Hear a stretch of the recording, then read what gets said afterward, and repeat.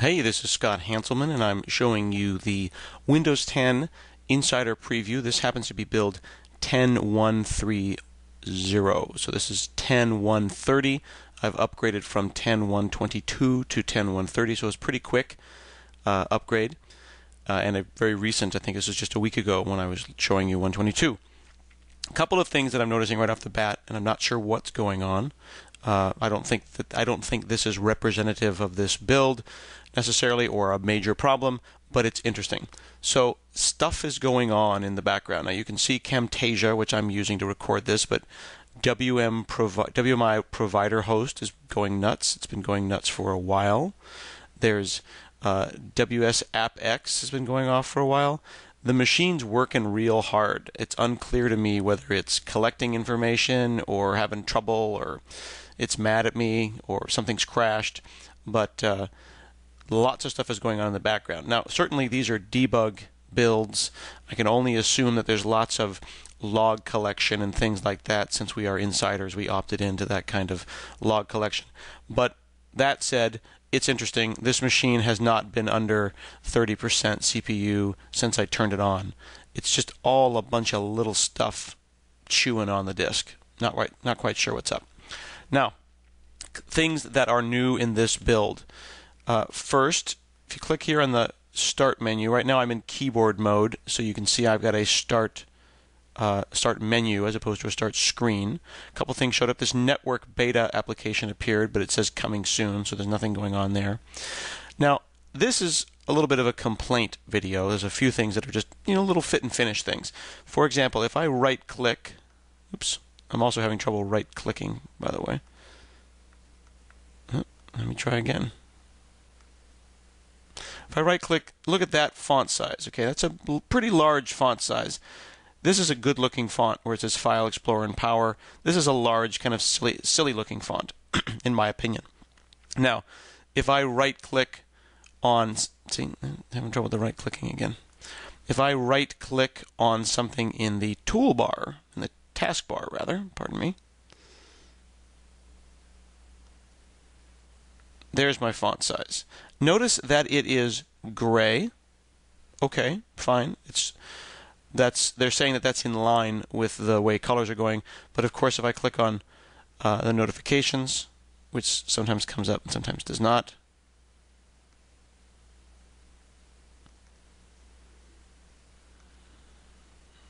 Okay, my, my poor hard drive. Let's try something else. Try anything else.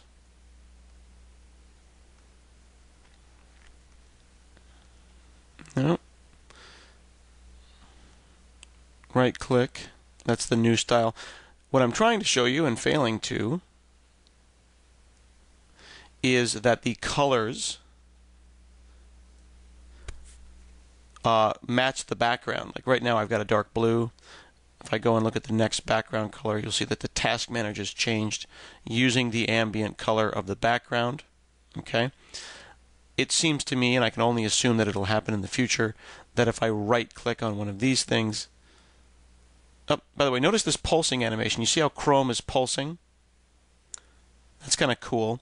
Reminds me a little bit of the jump animation in iOS X, IO, excuse me, OS X, and um, that's kind of interesting.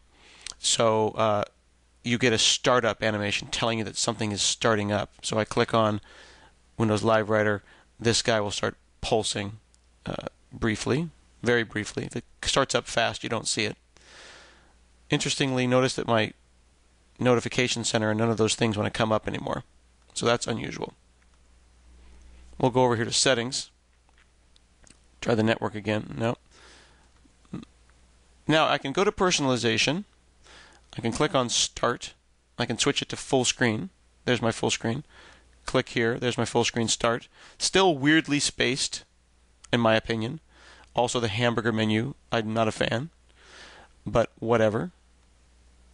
Let's turn that off. See where it says customize list? This is not obvious at all. If I hit File Explorer, I can turn on downloads, let's say network, stuff I hit a lot. Okay. Now, when I hit the Start menu, I've got those down here. Now they're marked with smiley faces now, and the spacing is wrong here, but presume that that will in the future be correct. Then I can click go straight to downloads. Notice also File Explorer has a flyout. Click on that. Then here is a really kind of a good example of the the colors being weird.